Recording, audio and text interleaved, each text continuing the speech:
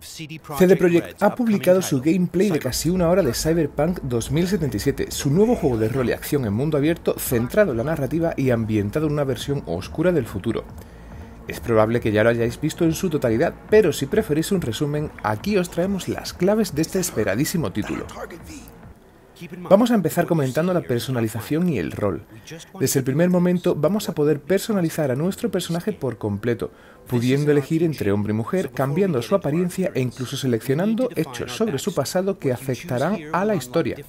A pesar de ser un juego en primera persona, nuestro personaje aparece mucho en pantalla, por lo que los cambios estéticos que elijamos van a ser más que visibles.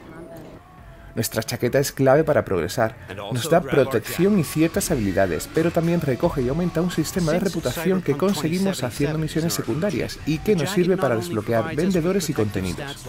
Cambios estéticos aparte, también elegimos nuestros atributos iniciales. Eso sí, no hay clases predefinidas como tal, sino que en función de cómo prefiramos jugar podemos ir definiéndola. A través de la historia principal conseguiremos mejoras que nos permitirán, como en este caso, mejorar la percepción, pudiendo adquirir información adicional sobre el entorno o los enemigos. No faltarán las opciones de diálogo, que además de ofrecer diferentes opciones durante las conversaciones, también serán claves en ciertos momentos. Ahora, no solo podemos tomar decisiones habladas, sino que se integran también con decisiones como poder robar un arma e intentar solucionar las cosas por la fuerza aprovechando el factor sorpresa. En Cyberpunk no hay tiempos de carga y además de los típicos marcadores también vamos a ver otras maneras muy interesantes de encontrar el camino, como anuncios personalizados que nos indican la ubicación de tiendas o lugares relevantes para nosotros. Por supuesto, la ciudad está totalmente abierta, hay ciclos de día y noche y podemos conducir por ella con coches, motos y otros vehículos. Como curiosidad, se puede conducir en tercera persona, algo que nos ha llamado la atención. La libertad también estará presente en las misiones. Tenemos, además de las secundarias, objetivos opcionales que cumplir mientras realizamos otras misiones y diferentes maneras de enfrentarnos a ellas. Por ejemplo, podemos elegir entre pasar a la acción e intentar robar el objeto que necesitamos o ir por las buenas y comprarlo. Además, podemos examinar objetos para conseguir información adicional. Por último, vamos a resumir todo lo que Cyberpunk 2077 tiene que ofrecer en lo que respecta a la acción y el combate. La jugabilidad se va a centrar en los disparos, aunque también es posible realizar algunos ataques cuerpo a cuerpo con infiltración.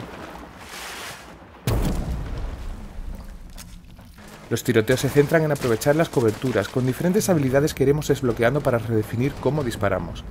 Durante los combates tendremos escenarios destructibles, trabajo en equipo con nuestros compañeros y con gran variedad de armas como escopetas, rifles de francotirador, granadas o un arma con balas que siguen al objetivo. Las armas además se pueden personalizar y mejorar para adaptarlas a nuestro estilo de juego. Por supuesto, según progresamos conseguiremos habilidades como redirigir los disparos rebotando en las paredes o atravesando muros. Las posibilidades del combate parecen infinitas y van desde disparar en un coche en movimiento a trepar por las paredes para hacer ataques letales. De hecho, nuestro personaje es bastante ágil y puede realizar doble salto e incluso saltar apoyándose en las paredes. También podemos conectarnos al chip neuronal de los enemigos, lo que nos da acceso a la red interna del grupo, y desde ahí a información, hacks y un largo etcétera, pudiendo, por ejemplo, bloquear sus armas antes de enfrentarnos a ellos, ya que los rivales tienen un nivel y pueden ser mucho más fuertes que nosotros. Y con esto terminamos nuestro resumen. Cyberpunk 2077 llegará a PlayStation 4, Xbox One y PC próximamente, aunque todavía no sabemos exactamente cuándo.